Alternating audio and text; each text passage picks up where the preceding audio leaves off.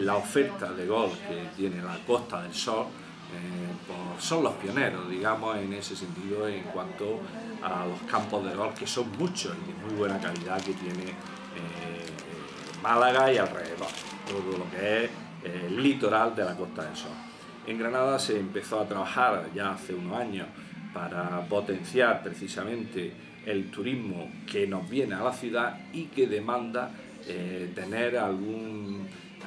alguna actividad de deporte y el golf fue muy demandado en su momento y sigue siendo. Eh, eso es un proyecto que realmente corresponde más a las instituciones privadas, a lo que son las empresas.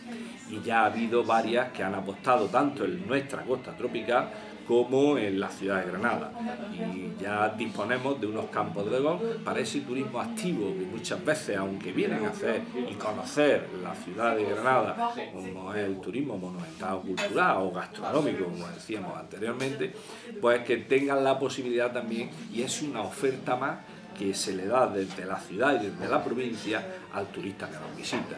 Y ahí es verdad que todavía hay un potencial que debemos de seguir explotando y es que podamos desde las administraciones públicas permitir a esos empresarios que puedan decidir de querer realizar una infraestructura de esas características para tener muchos más de los que tenemos en la actualidad.